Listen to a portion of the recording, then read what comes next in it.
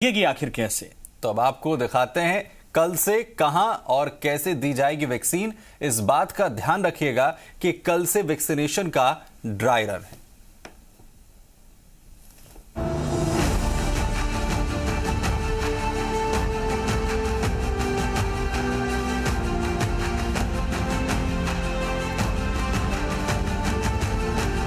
नए साल पर सबसे बड़ी खुशखबरी। कोविड के खिलाफ जंग की अंतिम जो चरण है इसमें भी हम लोगों को भारी सफलता मिलेगी। नए साल पर सबसे स्वास्थ्य वर्धक रिपोर्ट। ये जो डीप फ्रीजर होते हैं ये खास इसी तरह से डिज़ाइन किए जाते हैं जहाँ पर आप वैक्सीन को स्टोर कर सकते हैं। नए साल पर इतिहास रचने वाली तस्वीर।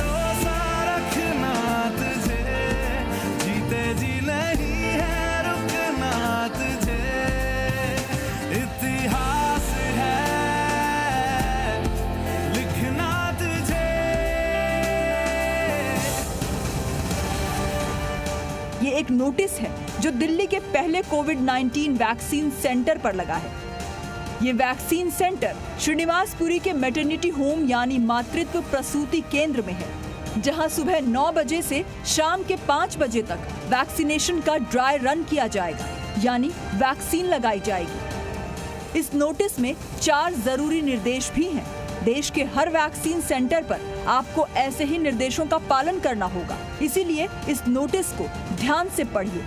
पहला, वैक्सीन लगाने के लिए आते समय पहचान पत्र लाना ज़रूरी है। दूसरा, मास्क ज़रूर पहने। तीसरा, वैक्सीन सेंटर पर एंट्री से पहले हाथ सैनिटाइज करें। और चौथा, दो गज की दूरी का पालन करें।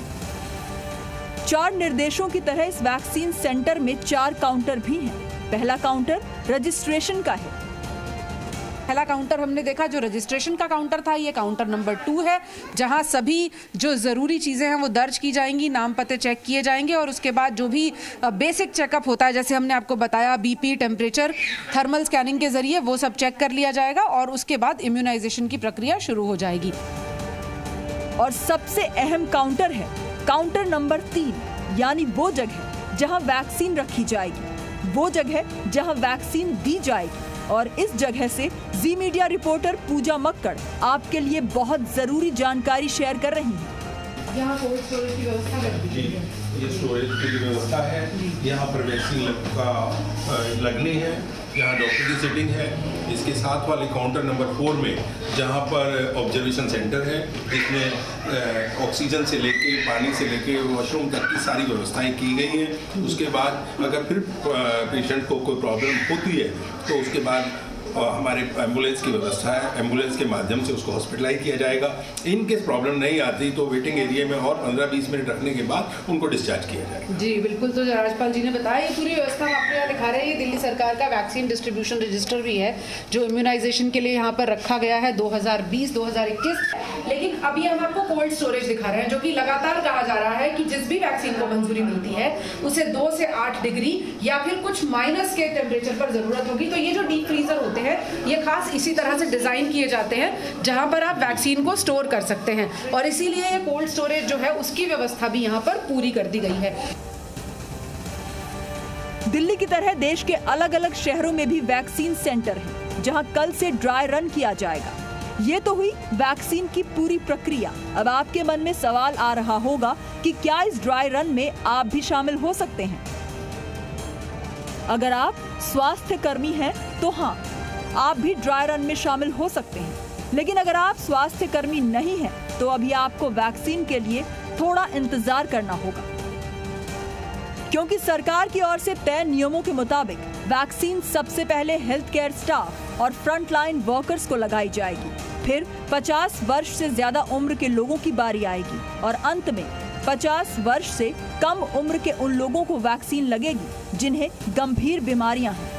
अब सवाल ये है कि वैक्सीनेशन का ड्राई रन क्यों? जवाब स्वास्थ्य मंत्री से जानिए। ये जो ड्राई रन है, इसका पर्पस भी यही है कि हम सब लोग अपने आप को अच्छी तरीके से तैयार कर लें। जो हमारी प्रपोज्ड लिस्ट है, जिनको हमें वैक्सीनेशन देना है, ये जो पोटेंशियल बेनिफिशरीज हैं उनके साथ कम्युनिकेशन ठीक से हुआ कि नहीं हुआ उनको टेक्स्ट मैसेजेस जा रहे हैं कि नहीं जा रहे हैं उनको वैक्सीनेशन मिलने के बाद इलेक्ट्रॉनिक उनको सर्टिफिकेट देना है वो सब चीज़ें करके हमें देखना है।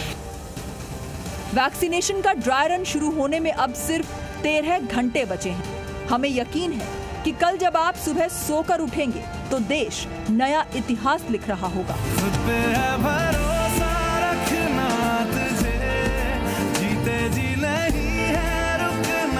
पूजा मक्कड़ जी मीडिया दिल्ली।